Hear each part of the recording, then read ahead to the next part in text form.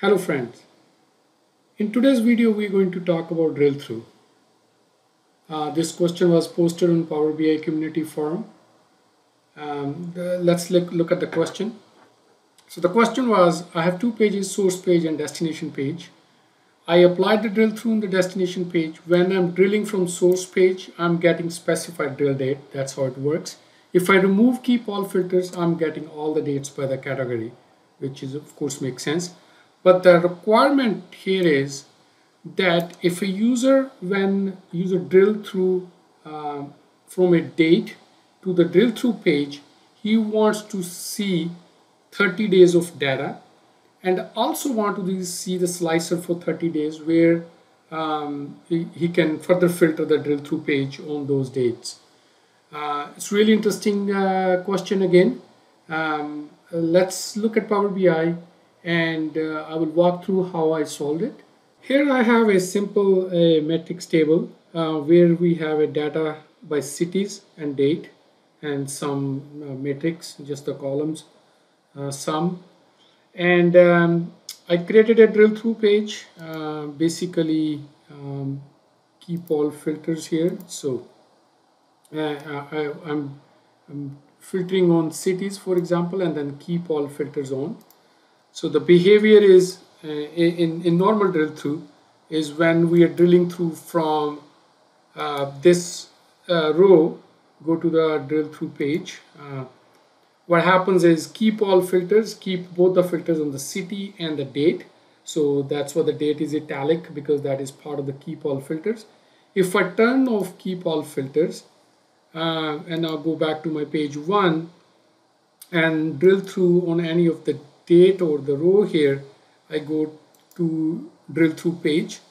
And now what I see is it's uh, filtering on the city uh, on city A we are not seeing the city B but it's giving all the dates. Uh, again going back to the user question the question was when user drill through from this let's say user drill through from uh, this particular row where the city is A and the, also on the date so on the drill through page, user should see up to 30 days, up to the record up to 30 days, which is pretty much like up to the 28th of uh, April. And then have a slicer on that page, which allows to pick and choose between those 30 days. So if user is drilling through from 19th of April, so 19th of April plus 30 days, that's the data the drill through page should show. And also the date slicer should show that date range and to um, you know, so the user can further filter the drill through page. Now, out of the box functionality, as we saw, that is not possible. Either you see all the dates if you have keep all filters off, or if you have the keep all filters turned on, you only see the dates from which you are um, uh, drilling through or coming drill through coming from. Um, so the, the, we are only seeing that date. So how are we going to solve it? Uh, let's get to the solution. So quickly look at the model. What we have here is a, simple table, a data table of course, and then I have a calendar table as a, we are looking at the dates. And then because we need the 30 days, and then I have another calendar drill down table, which uh, will be a hidden table because this is only going to be used in the drill down page. So both those tables are connected with my table one. In in my main page, page one, I'm using my regular date from my regular calendar table. So we're going to write a measure where we are going to over, uh, we are going to remove the filter coming from the page one to the drill through page and then apply our own filter uh, for 30 days in a measure. So I already wrote, uh, wrote a measure for this. So just quickly walk through that measure.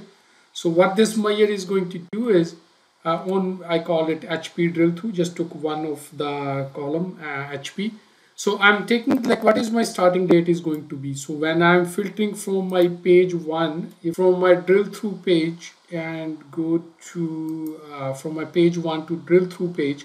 So now the date one is 13 uh, April right? So that's what uh, that date is.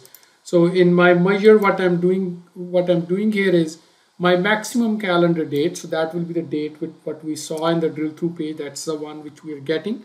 And then days 30 I just stored in the variables how many number of days we want to uh, uh, go. So which is simple now this one is simple measure which is sum of the column uh, and then I'm removing the filter which is coming on calendar date and we saw when we drill through the page when we go from page one to the drill through page there is a date filter applied on that. So we are removing that filter I'm removing the filter on my calendar date. The reason I need to remove the filter because our calendar date is filtering our uh, our table 1 and currently calendar date is filtered on April 1st so we want that remove uh, we want to remove that filter so that our table 1 is not filtered anymore on the date. And then I'm applying another filter on the calendar drill down for 30 days. So we are using dates in period calendar drill down and we are saying the starting date is what the current date is being selected or then the drill through page which is April 1st in this case. And then number of days we want to move forward 30 days and the last element is whether it's a days or months. So we want uh, 30 days. So now I have this particular measure uh, done. What I need to do is in my drill um, in my drill through page I again put my cities I put the date column now this date column will be used from the calendar drill down not my regular calendar because regular calendar is currently filtered on April 1st and I can't control that. So I'm putting my own, um, uh, I'm using my own uh, now calendar this, uh, this table uh, if to see the date and then I'm using my new measure and as you can see now we are seeing the 30 days of data starting from 1st April to 28th of uh, um, April. So let's go back to page 1 and let's pick any other date. Uh, let's pick uh, April 22nd if we drill through from this page into our uh, drill down 30 days page. So what we see here is so starting from April 22nd it goes to 30 days. That's the only data available. And so now we are seeing so April 22nd is the drill um, is the filter so that's what we're seeing the 30 days data. Until this point the matrix visual is working everything is working this is great the solution is. But there is another twist what the user asked. The user want is to have a filter on this page a date filter slicer where he uh, for the 30 day slicer and then further can um, slice this data. But he wants to see only those 30 days. So how are we going to achieve that I have created another measure here. Um, this measure is um, simply the same thing. Starting date is our max calendar date which is based on the key on the filters coming on this page and 30 days. The only is it's more or less the same measures. What we're doing is the count rows uh, on the calendar drill down. So it will give us whatever the dates falls within the 30 days we get the value 1 for other ones we will get the value blank. I just want to quickly show you that. So if uh, if I put the date in here uh, from my calendar drill down table and then I put this measure filter dates in here what you will see is only we seeing the one we are seeing the 30 days. So basically starting from April 22nd that is our starting date. Why this is our starting date? Because this is where how this page is being filtered. If I go back to page 1 and uh, let's I filter from April 13 and go to my drill through 30 drill down to 30 days page. So what my starting is now 13th of April up to uh, 12th of May. So that is 30 days so now these are the dates what I need to be uh, slicer uh, put the slicer on. So what I can do is change this maybe use this as a slicer.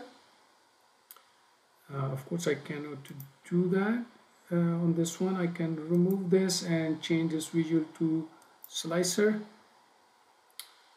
And now it's showing me all the dates. What I need to do is the filter which I created I will put that as a visual level filter. Filter date is node blank.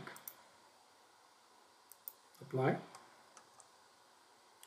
So now here you go. Now what we have is starting from 13th of April to um, uh, May, uh, 12th uh, of May, we have that filter. So now slicer is showing the 30 days date range. So let's go back to page one and uh, use pick another date. Let's say we pick from uh, May 25th. Drill through, drill down 30 days. And what we have is now starting from a May 25th up to a June uh, 23rd. I think that's probably the uh, dates we have in the data.